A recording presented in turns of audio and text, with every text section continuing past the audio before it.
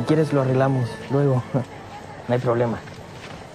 Oye, ¿qué quieres? ¿Me estás persiguiendo? Quiero lo mejor para Rosita y tú no eres lo mejor. ¿Sabes qué? Me tienes harto. ¿Realmente quieres saber lo que le va a pasar a Rosita? ¿Eh? ¿Quieres que te lo diga? Después de que nos casemos, Rosita no tendrá el bebé porque tendrá un accidente. Accidentalmente, la pancita de Rosita se va a golpear con algo. Yo lo voy a impedir. ¿Sí? ¿Cómo? ¿Me vas a atropellar con tu silla? Suelta. Ándale, atropéllame, ¿qué pasa? Se lo voy a contar a Rosita. Cuéntaselo a quien quieras. Nadie te va a creer. Rosita me ama. Y yo a ella. Ándale, apúrate, alcánzame. ¿Qué pasa? ¿Qué pasa? ¿No puedes trotar como yo? Ah, no me olvidaba que estabas en sillita. Esposa no debería hacer tanto escándalo. Fue solo un beso. Una vez un beso me cambió la vida. No quiero más cambios. Nacho, pasa, por favor. Le estaba contando a Lucía que renuncié. Me voy del hospital. Es más, me voy de la ciudad.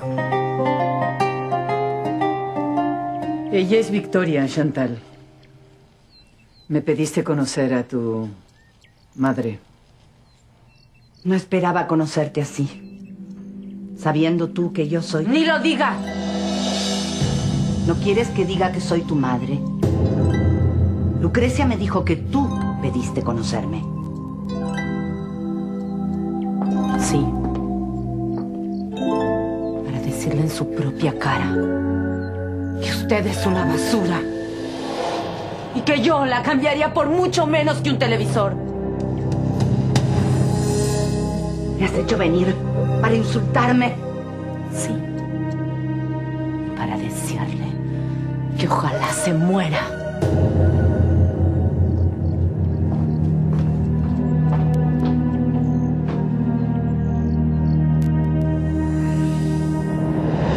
¿Por qué no me lo pueden contar? Porque es un secreto. Pero yo soy tu amigo. Pero es un secreto y no te lo podemos contar. ¿Tú lo sabes? Ajá, si se lo dije a ella. Y a mí no. ¿Saben qué? Ya no son mis amigos. Sí somos amigos. No, porque los amigos no tienen secretos. Y ya no los quiero.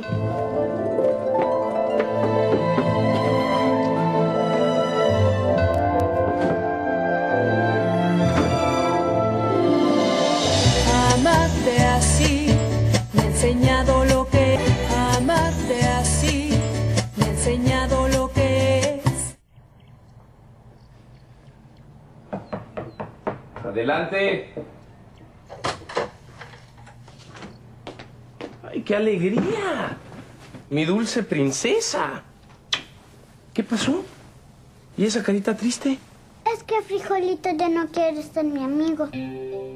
Eso está muy raro porque Frijolito te quiere muchísimo. No, ya no me quiere. ¿Qué pasó? Es que no le dije un secreto. Ah, un secreto. A ver, cuéntame, ¿cómo es eso?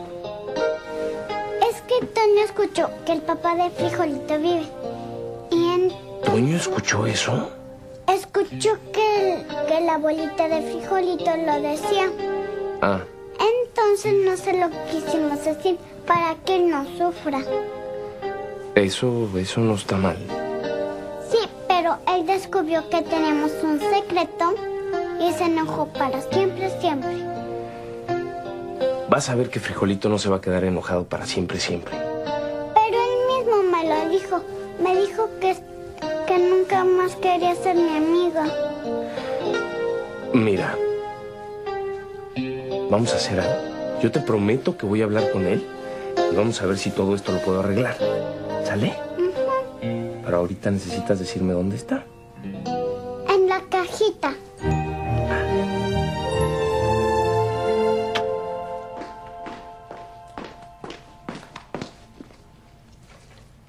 No quiero estas flores. En esta casa siempre ponemos otras flores. Pero a mí me gustan estas.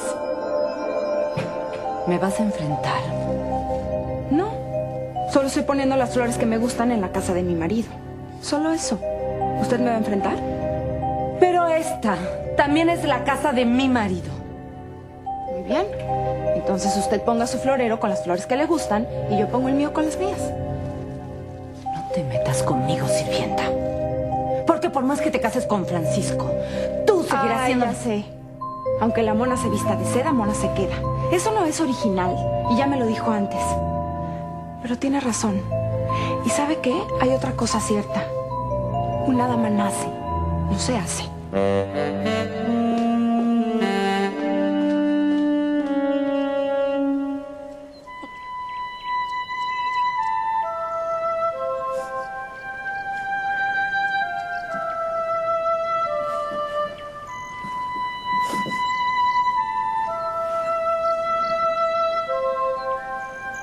¿Estás llorando? No, los hombres no lloran.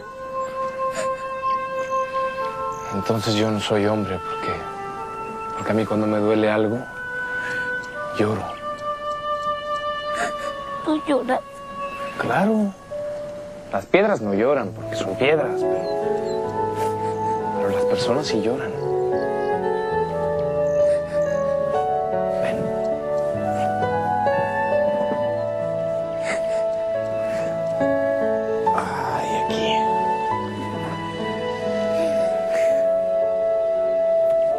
Tiene un dolor grande, se vale llorar. Es, es como cuando tienes ganas de estornudar y, y te tapas la nariz con las manos. Estornudas para adentro y, y eso te hace mal. Por eso es bueno estornudar para afuera. Con el llanto te pasa lo mismo. Cuando, cuando tienes un dolor muy grande, una tristeza muy grande, ¿se vale llorar? Claro que se vale llorar. ¿Por qué Diosito no quiere que tú seas mi papá? ¿Por qué no quiere?